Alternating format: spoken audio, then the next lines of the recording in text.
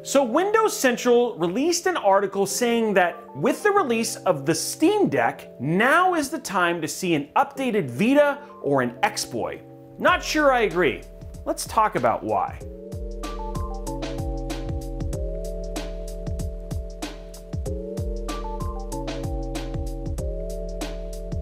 A big thanks to Skillshare for sponsoring today's video. Just so you know, Skillshare is an online learning community with tons of awesome classes for creative and curious people like yourself or like me.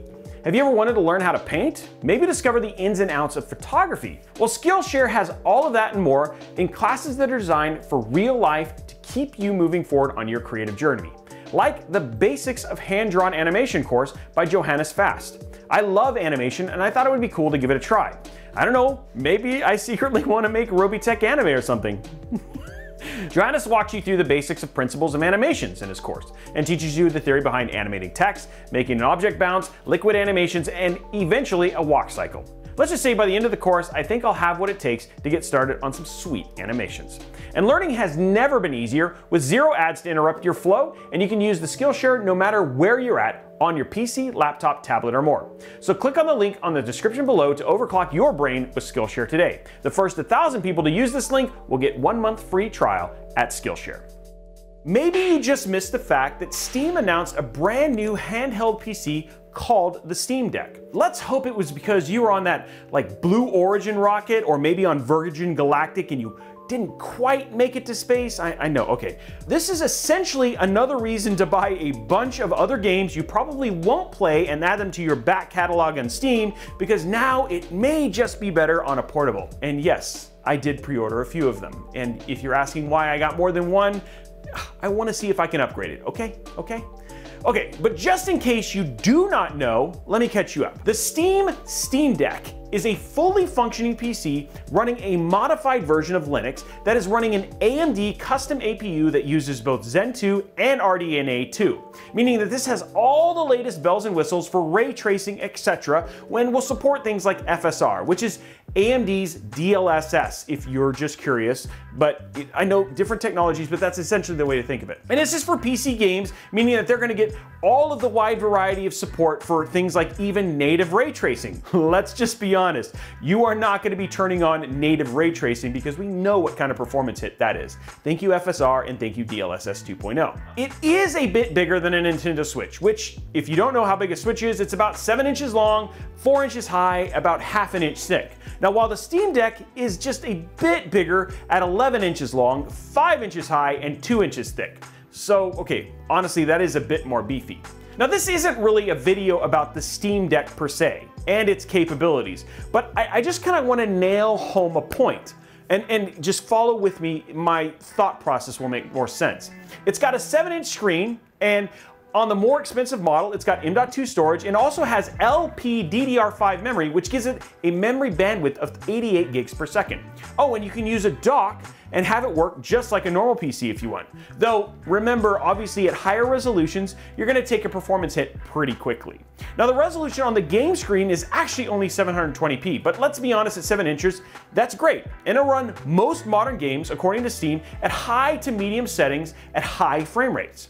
The control sticks feel good. And better yet, people really also like the trackpads for those who've had hands-on. This is a well thought out piece of hardware, and in pre-sales or reservations alone, this has the potential to sell a ton of units, which is great because we want Steam to do more with this hardware and see an iteration. Now back to the question at hand though. I mean, with all those units selling, it means that there's a lot of desire for a powerful handheld system that people are showing that through their wallets. And I do love my Nintendo Switch. And a lot of people were disappointed by the OLED announcement and the fact that it wasn't a Nintendo Switch Pro because though the device is great, it only plays AAA Nintendo experiences, which are different than the graphical powerhouse AAA experiences like Battlefield 2042 or anything else that your PC heart desires launching later this fall. So of course people are now asking the question, what about Xbox and PlayStation? We have an answer for PC, we have an answer for Nintendo, but what about the Xbox and the PlayStation? Would it be a good time for them to release a handheld? And this all brings me down to this quote that I saw in this article from Windows Central Gaming, which asks just that. Something Xbox currently lacks, though, is a dedicated handheld device that can compete with the Nintendo Switch. My colleague, Daniel Rubino, has written about that there's no excuse for Microsoft not to make an X-Boy to rival Nintendo Switch, and I fully agree with him, especially now that Xbox Game Pass has become a global hit and Xbox Cloud Gaming has become a very refined and polished experience. Imagine an X-Boy with Steam Deck level specs that could be used to play Xbox Game Pass titles natively or stream them through Xbox Cloud Gaming. The potential here is nothing short of insane, and Microsoft would be foolish not to make a handheld device like this. Is Daniel right? Do they absolutely have to do it? I want to unpack that a bit because we're just going to focus on Xbox. Frankly, just because PlayStation is actually a bit harder to read. They had a streaming service and then they kind of didn't. And then they've made some things go to PC and they kind of haven't. And that's not to say that I'm anti PlayStation. I'm just saying that with Xbox and specifically when I saw this, it actually made a little bit more sense to kind of unpack it for them. So Xbox has actually been pretty clear in terms of direction if you really look at Xbox strategy as of late. I don't think what Brendan is saying actually fits. And honestly, as of December, I think what he's asking for actually may already exist. In the past number of years, you've seen Microsoft diversify what Xbox means. The Xbox has moved beyond just being a console and more about their insane library of studios and titles being where gamers actually are. Even if that isn't on Xbox. I mean, case in point, some of their games like Minecraft or Ori and the Blind Forest are already on rival systems like PlayStation and Nintendo Switch.